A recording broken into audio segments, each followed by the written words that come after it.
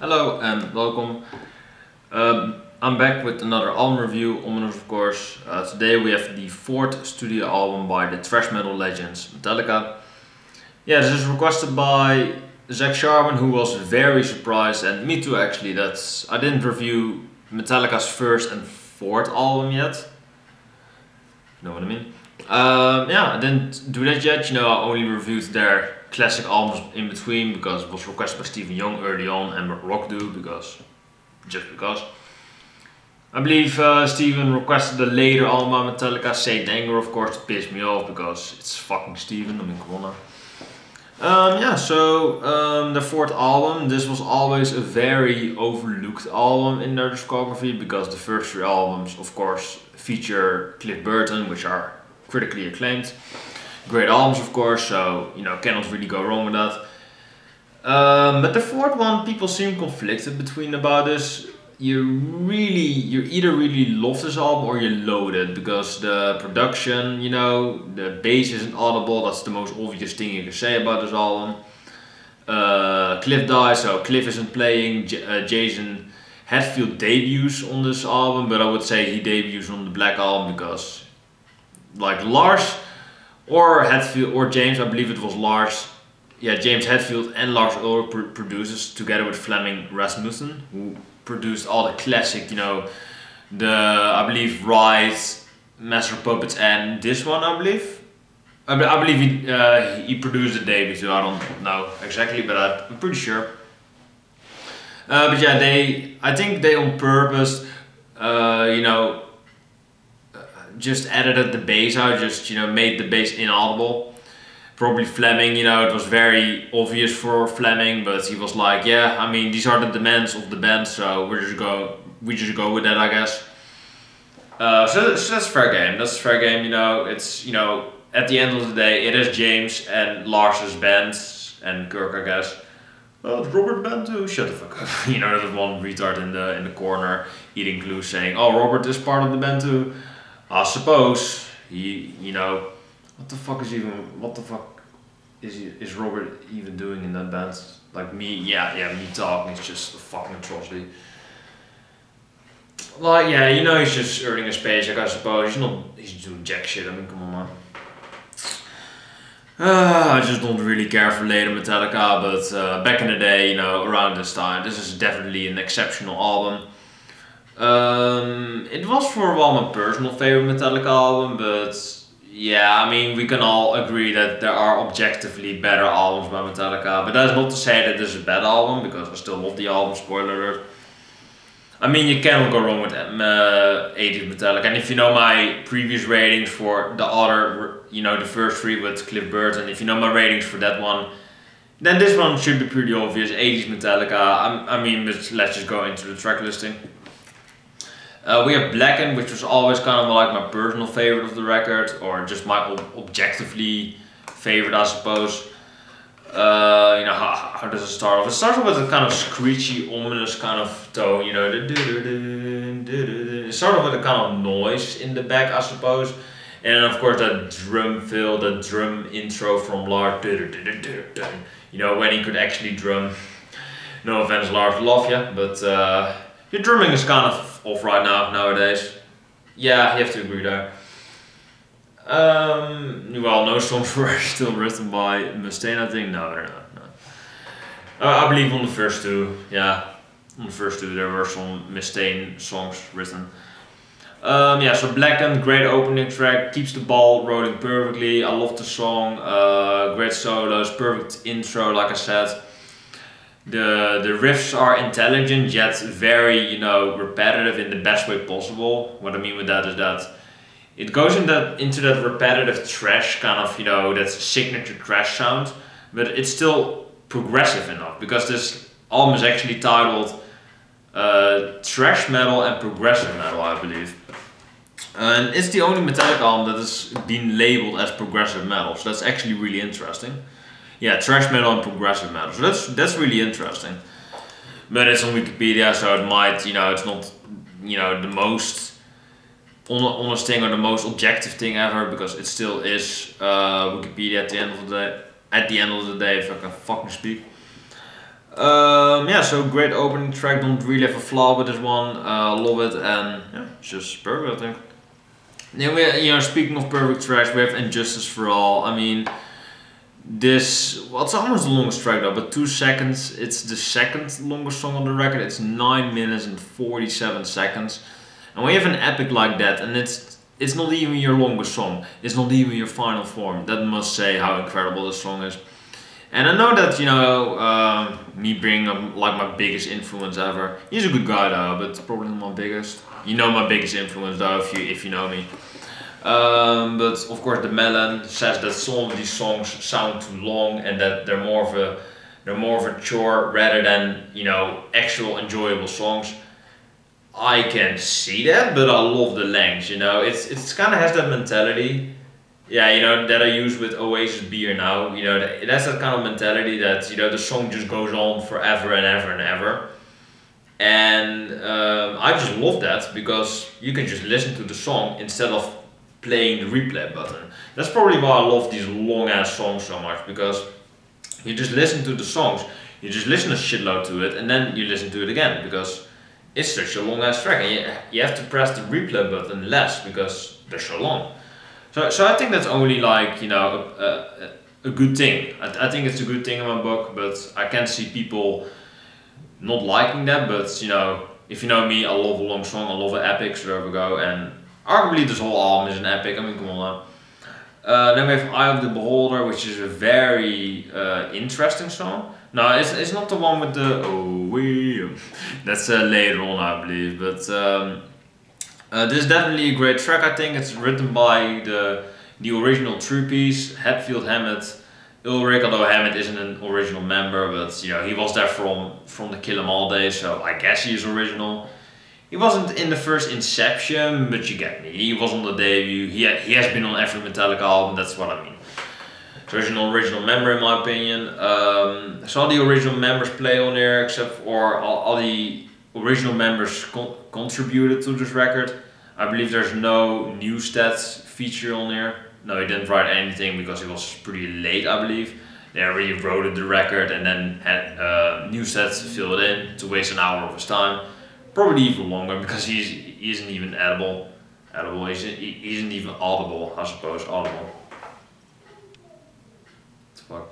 Uh, yeah, some neighbors. Um, yeah, good track. I the only flaw I have with it is that it was not really a bad song. It's a great song in my opinion, but I do still listen to it more. But the lyrics are really intelligent. The song was really nice to listen to, very nicely structured. And it's arguably the most progressive song that Metallica ever did. Although I do need to re-listen to it more to really uh, stamp my you know my insurement on that track. My my agreement my uh, stamp of approval so to speak. Then we have of course the obvious one uh, written by Ulrich and Hetfield uh, songs are written by Hetfield Ulrich Ulrich Hetfield like yeah I, I guess one one of the two co contributed more because it goes like Ulrich, Hatfield, Hetfield, Ulrich, you know, with every track, and I'm like, why have that? What? I'm so confused. But apparently one wrote it more than the other. I don't know. It maybe starts off with a drum beat, or maybe starts off with a guitar. I don't fucking know. Like you care. I mean, this is pretty obvious. Uh, start off with the with the machine gun, like the uh, go go go go go. You know, that's intro. Then the riff, of course, by uh, uh, you know, I believe it's James Hetfield. James Hetfield has more of the mature kind of low-tuned guitar, whereas Kirk Hammett is like wah and really high. So you know, he comes in with the solo, I suppose. So it's a really nice opening from James Hetfield, and I love that James Hetfield and uh, Kirk are kind of distinct. Yeah, they are distinct because James is kind of lower tuned and Kirk is kind of higher tuned, which you know is very recognizable. Some guitars almost sound the same, which is very difficult to separate them from each other. I cannot really name a band, but you get the point. Um, yeah, so you know, I can explain the song, but you've probably heard it. I mean, I sometimes even forget that this song is on the album because it's such a classic. It's one of my all-time favorites, though. Don't get me wrong. It's one of my all-time favorite Metallica songs, but uh, you know what's the thing? It's kind of speaks for itself honestly it's the, the lyrics are kind of mental you know talking about this one person this one You know, that becomes one, he loses all his limbs, all his arms, all his legs, all the, you know, his ears, his nose, his senses, I believe. You know, he, he, he loses everything. Except for like his, his, how do you say that? His, his arsenal, his rump. I don't know how you say that. Like your, your body. He only keeps his body and his head. That's the only thing, you know, his uh, vital organs. He only keeps those things to keep him alive, to keep him suffering. And he just says, oh, you know, uh, um, get me out of my misery, you know, just, uh, just shoot me in the head, just pull the plug. It's just such a heavy song, you know, it's, it's, it's, it's not one of those cheery songs that um, sound happy, which is actually depressed, because this song is heavy as fuck. You know, it's a Metallica song, so uh, it's just a great song, I think. You know, it's great. It's a classic. It's just one. I mean, it's fucking one. Just listen to it, man. You know it. It's a, it's an obvious classic. I mean, come on, man. It's one of the best Metallica songs. Uh, then we have the shortest straw, which is very kind of reminds me of the Kill 'Em All Day. Shortest straw, you know, very samey drum beat, which I love. You know, because you gotta have some rock and roll tune in there, and the shortest straw is probably that. They're saying, you know, the shortest straw as pulled by you uh, you're fucked. You know, that's uh, pretty funny lyrical content. So I do really like this song. You know, it goes back to the more rock and roll roots.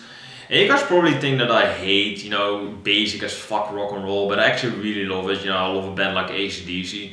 They just, you know, balls to the wall, just just to the floor, you know, rock and roll music, you know, gets to the point, just rocks out, you know, I, I love music like that and, you know, ACDC, ACDC is perfectly like that, so you know, perfect band, I think. Um, so you know, Metallica, they have some rock and roll tunes right there, but I do think they're the ultimate better band because uh, their highs are better, and you know, what's the thing? They are more diverse. Although you know, I love ACDC, but there we go. Which is probably really like uh, surprising for most people because most people probably think I hate that band because they're so repetitive, but they're great rock and roll band. Uh, then we have Harvester of Sorrow, which kind of sounds the same like the Shortest Straw, but eventually it gets more diverse. Ulrich Hetfield, Hetfield, Ulrich, I don't understand why it's labeled as that. Like, why not have Hetfield always first or Ulrich, first? Ulrich first? I cannot fucking speak. But uh, there we go. Um, yeah, so classic track. Uh, I love the, the chorus. Harvester of Sorrow after me. You know, just classic I think, just uh, very catchy to listen to. It's kind of similar to the short straw, but that doesn't really bother me. I just love the song. Um, yeah, and I think it's just an overall classic and definitely an essential in your Metallica playlist or this album in general. Just get it, you know, it's a classic. But we will continue. Uh, then we have the Frayed Angels the frayed ends of sanity. I cannot speak anymore, you know, late in the day, there we go. Or just in general. Uh, yeah, this is the song that uh, you know has the has the hey hoes on it. You know, the ooh wee ooh. Um, I love the riffs on this one. It sounds really cringy. It sounds really nicely produced. Uh, I do think that Metallica sacrifices the bass for a more metallic crunch, a more metallic bite in their in their sound, which I love. I love that crunch side, that crunch, that crunch sound in their music. It sounds really good. It sounds really finely produced. Um, yeah, I just love the sound. I just love the sound, and I think it's just an overall joy fest to be at. And you gotta love the AOs. I mean, it's kind of a guilty pleasure thing for me because most people probably hate that, but I, but I love that. I, I think it's funny as fuck you know, you know, you gotta have a funny track in there. Metallica also has that because they are fucking Metallica. I mean, come on now. then we have To Live To Die, and you know, I said on, I believe, the Kill 'Em All, I, I, might have said it on on those other two albums, you know, Master of Puppets and Ride the Lightning. Um, I've said said that those instrumentals on the first four are just absolutely classic, so this one just kind of speaks for itself. Um, there's a tribute to Cliff Burton, he actually co-wrote the song together with Hetfield Ulrich, and he's the third uh, one that is credited for the song. You know, he co-wrote it because it's another kind of bass solo. There's a bass solo in there, so there we go. Great song. It's uh, the longest track of the album, 9 minutes and 49 seconds, so it's 2 seconds longer than uh, for All. Uh, yeah, just an overall incredible instrumental. Um, of the four instrumentals, well, I'm not gonna pick a favorite. You know, that's like choosing your favorite kid. I'm not gonna do that. But um, yeah, they're all incredible instrumentals. This one is classic too. Um, it's kind of that one mentality. You kind of have to listen to it for yourself. It's such an incredible tune. I love the spoken word too. All lyrics were written by James Hetfield except for the spoken word section of To Live to Die, posthumously attributed to Cliff Burton, my screen face to black. The bonus tracks from the digital re-release were recorded live at the Seattle Coliseum, Seattle, Washington on August 29 and 30, 1989 and later appeared on the live album Live Shit, Binge and Purge, 1993. Um, yeah, so the spoken word was maybe by Cliff Burton, but maybe not, I don't know. Maybe someone can let me know that, but otherwise, you know, uh, doesn't matter because I still have the music, so. The music is the important part you know, I don't really care for spoken word, but it sounded very important. You know, it sounded like um, I, ne- I never thought about it like this, but it sounds like a kind of you know, like a funeral kind of speech that you use, you know, the, the fallen and stuff like that. And uh, I don't, I don't know what the spoken word said again, but I, I believe it was very honorable and very uh, respectful and very like noble. So it's a very high class instrumental, almost ten minutes long. So an instrumental that is intelligent, long as fuck. It's an epic, you know, epic, long, same thing, but uh, it's you know a tribute to arguably the best bassist ever. I mean, come on now. It's fucking Metallica, so it's just a perfect instrument. I mean, come on now. And then we have Dyers Eve, and this is um, you know one of those instrument or instrument is one of those fast balls to the wall, just ballsy thrash metal tracks. You know, they pretty much drop the progressive metal style and they go back to that kill 'em all ride the lightning kind of mentality where you know they are very very precise very pristine. Um, yeah i just love this man. I just love the um, the thrash style you know it's damage inc it's uh, it's another metal militia it's another creeping death i suppose or the call of Ktulu well, not really, but it's one of those, you know, uh, fast driving, you know, final close. F- fight fire with fire, I suppose, kind of like classic thrash track. But every Metallica track is a classic thrash track. Try to say that ten times, Jesus Christ. I'm, I'm kind of surprised I didn't butcher that, really. Uh, I'm not going to try to repeat it again, so there we go. Perfect. Uh, but yeah, it's one of those classic thrash tracks, you know. Uh, although you know Metallica isn't really classic thrash anymore, you know their later stuff isn't really that good. But this was really their last front to back amazing album, I think. Although the Black album is consistent too, it's not amazing. I think it, I I just think it's good. It's really good, but it's not amazing like their you know. The the terms are not Gene Simmons. Fuck's sake. It's not like their 80s work. I mean, come on. Our 80s Metallica is just fantastic. So you know my rating for this record. It's a 10 out of 10. I mean, come on. I mean, 80s Metallica is just flawless. I gave every record, I believe, from Metallica in the 80s a 10, so there we go.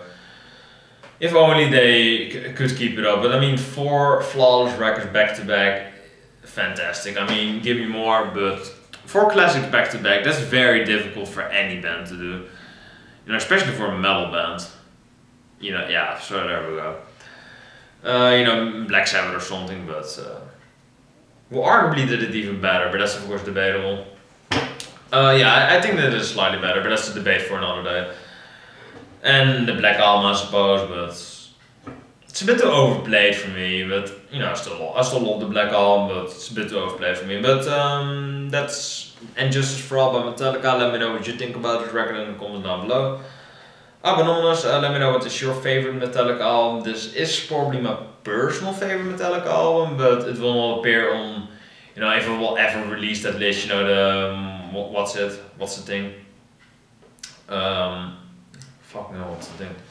My favorite albums ever. It will probably not be on there because, you know, Metallica has two objectively better albums. Although I do think that this record is highly up there as one of their best it's it's 80s Metallica, so it's it's up there for sure.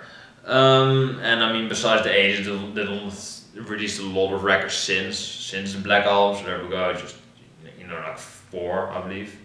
if you count Load and Reload, there's two albums, then four, I think. Lulu five, if you wanna throw it in there, sure. Yeah, so there we go. Um, yeah, that was Metallica. Talked about it 20 minutes because it's fucking Metallica. I mean, come on. Love the band. Well, you know, I still love them, but I love them because of their early stuff. So there we go. Uh, but that's pretty much every Metallica fan ever. Uh, let me let me know let me know what is your favorite Metallica song, what is your favorite Metallica album, let me know in the comments down below, your favorite Metallica member, fuck it, let's throw it in there. Yeah, let me know everything in the comments down below and I will see you guys in the next video. Peace. Rip Cliff. Legends will always stay in our hearts. That was cheesy as fuck, but it's true. It's the truth. Rest in peace, legend.